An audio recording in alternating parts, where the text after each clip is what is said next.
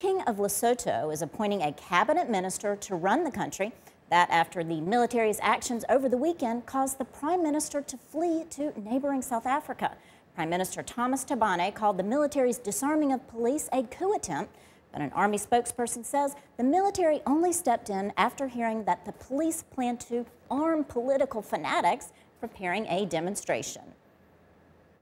The command of the Lesotho Defense Force acting after receiving several intelligence reports that amongst the police service, there are some elements who are actually planning to arm some of the political party political youth fanatics who were on the verge of wreaking havoc Military officials in Lesotho say soldiers have returned to their barracks and the situation in the country is calm.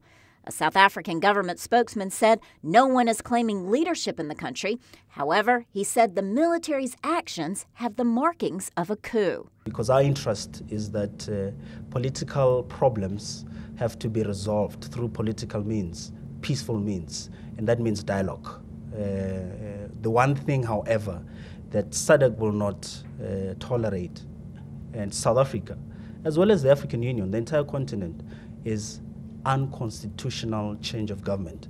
Uh, we can't have coup d'etats in 2014. Uh, if there are political problems, people must sit and talk.